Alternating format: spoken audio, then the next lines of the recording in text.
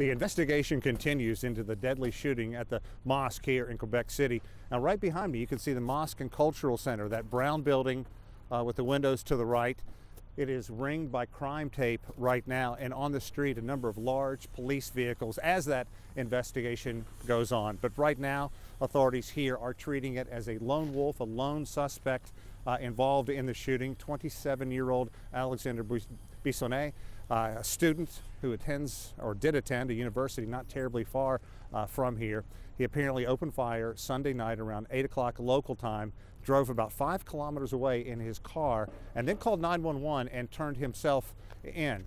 There's, of course, a crush of media out here. You can see down here there are some people, eyewitnesses, uh, people in the Muslim community who are talking uh, to uh, the media, trying to bring them up to date, trying to talk about how this is a nation that is coming together. And you can see an outpouring of grief here that is cropped up on this snowbank uh, here.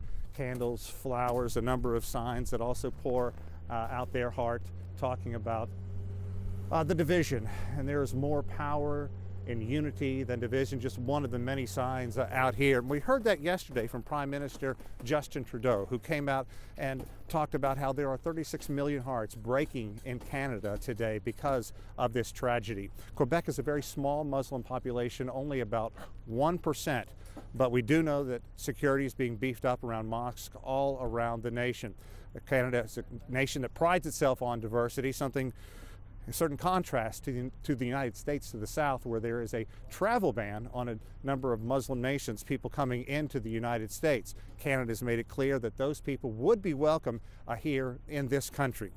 The investigation goes on. It is uh, Alexandre Bissonnette is uh, in custody right now, but it is certainly a time that people are looking for more answers than questions. They want to know why. What is the motive? And that's something that people will be poring over in the days, weeks, and probably months to come.